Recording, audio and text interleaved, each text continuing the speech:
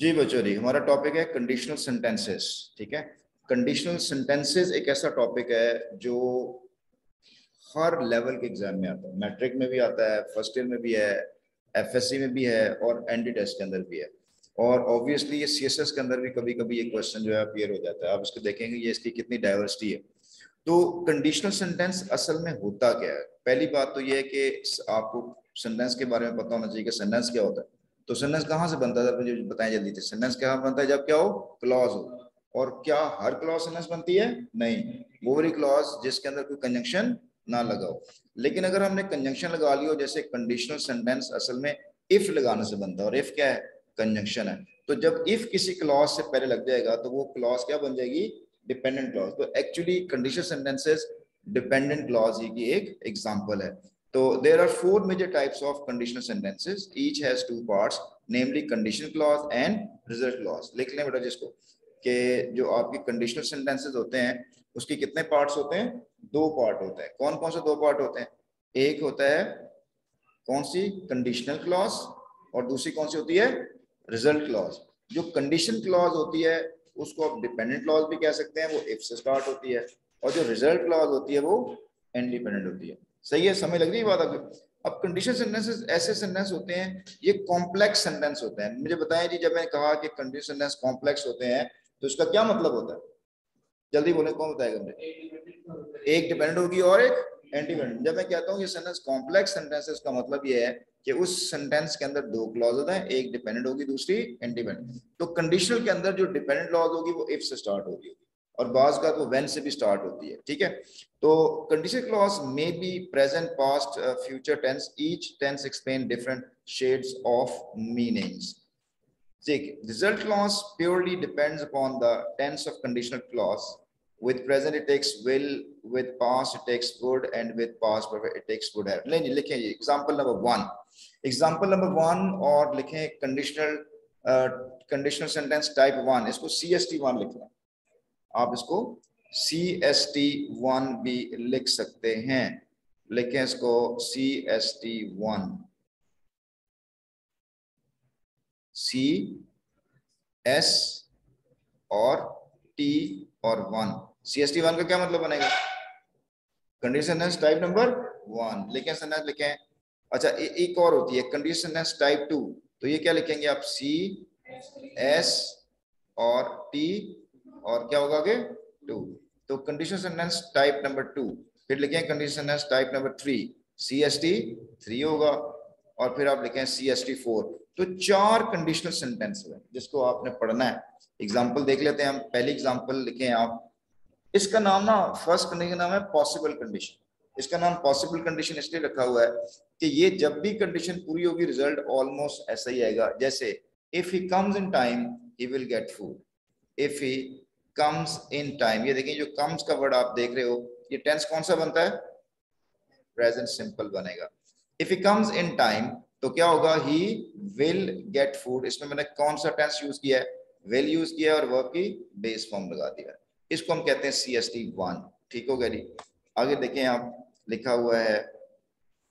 अगली जो क्लॉज का नाम है इम्प्रोबेबल कंडीशन इम्प्रोबेबल कंडीशन का मतलब होता है जो कि रियलिटी में आमतौर पर एग्जिस्ट नहीं करती। If you came in time का मतलब ये है कि वो टाइम पर नहीं पहुँच सकता बिकॉज़ ऑफ़ सम रीजन ये इसका हिडन मीनिंग है। ये सेकंड कंडीशन है ना इम्प्रोबल कंडीशन इसको सब्जेक्टिव भी कहते हैं। इसको सब्जेक्टिव कहते हैं। सब्जेक्टिव के स्पेलिंग आपको आते हैं? C U B J U N और C T I V subjunctive subjunctive का मतलब होता है अनरियल पास्ट ये एक ऐसा सेंटेंस है, एक ऐसी कंडीशन है जैसे मैं कहूँ ना इफ़ आई वर यू अगर मैं तुम्हारी जगह पर होता जारी बात है मैं आपकी जगह पर नहीं हो सकता। और मैं अगर कहूँ कि जी इफ़ आई वर मिलियनर तो राइट नाउ तो मैं मिलियनर नहीं हूँ। इसलिए हम इसको सेकंड कंडीशन कहते हैं, नाम क्या इसका? इम्प्रोबेबल कंडीशन के जो कि आमतौर पे पॉसिबल नहीं हो सकती।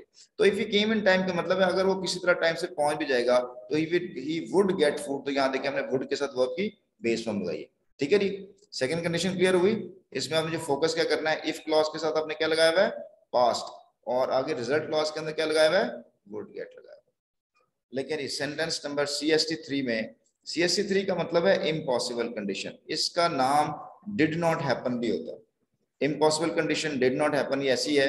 जैसे if he had come in time अगर वो वक्त पर आया होता, इसका मतलब है कि वो वक्त पर आया ही नहीं। वो वक्त पर आया ही नहीं एक्शन हुआ ही नहीं है। लेकिन हम इसका ख्याल मतलब कह तो देते ना, अगर यार ऐसा हो जाता तो ऐसा होता। मतलब ये कि बॉल अगर सीधी आ रही होती तो विकटों को लग जाती। और अगर तुमने मेहनत की होती, तुमने मुझे सलाम किया होता तो मैं तुम्हें जवाब जवाब देता। ऐसे कंडीशन को हम if he had come past perfect में लिखते हैं। और रिज़ल्ट क्लॉज को किसमें लिखते हैं? वुड लगाते हैं।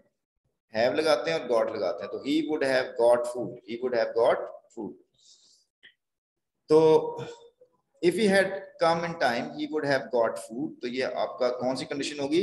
सी एस टी थ्री हो जाएगी ये आपकी सी एस टी थ्री होगी। सी एस टी थ्री का मतलब क्या होगा?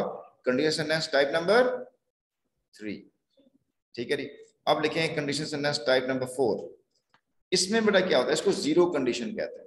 इसको ज़ीरो कंडीशन कहते हैं और ज़ीरो कंडीशन बता दी है कि दोनों ही क्लॉजेस प्रेजेंट में जाती हैं। इफ़ ही इज़ प्रेजेंट है और गेट्स कौन सा है? ये भी प्रेजेंट है।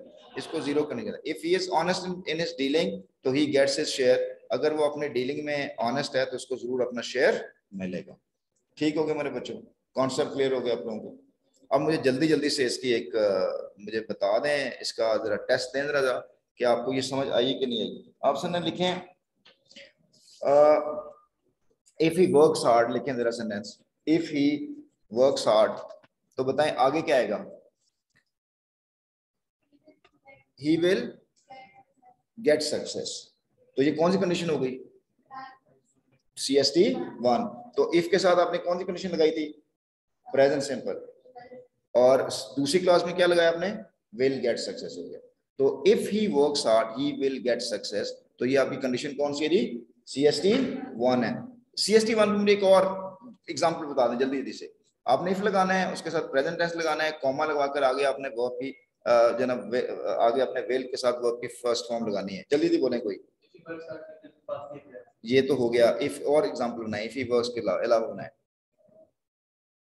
शाबाश, सोचें।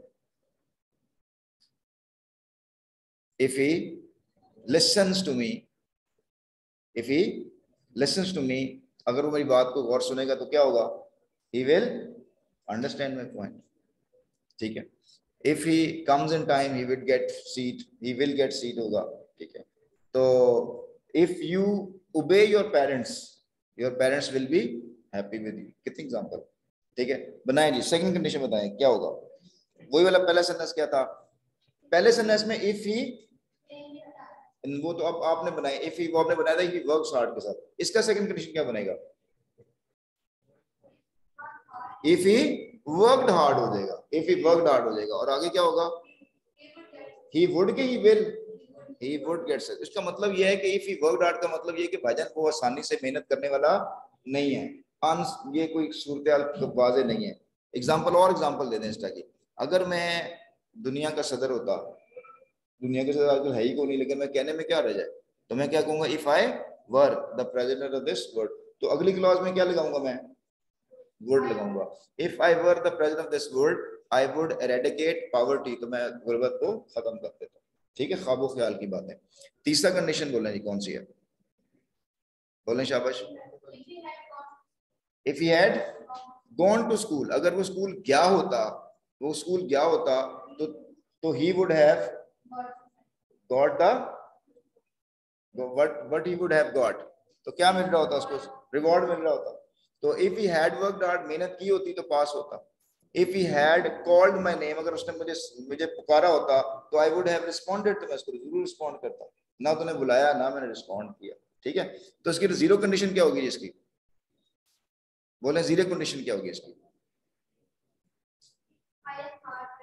If if I if I if I am hard working नहीं होगा। ये ज़ीरो कंडीशन तब होता है जो यूनिवर्सल ट्रूथ होता है, जब भी कंडीशन क्लियर हो रिज़ल्ट हंड्रेड परसेंट पूरा हो जाए।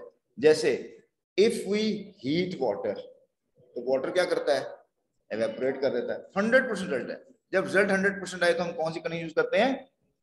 ज़ीरो कंडीशन यूज़ करते हैं। लॉरी बात क्लियर हो गई है। लॉरी इतना आज के लिए इतना लेसन काफ़ी।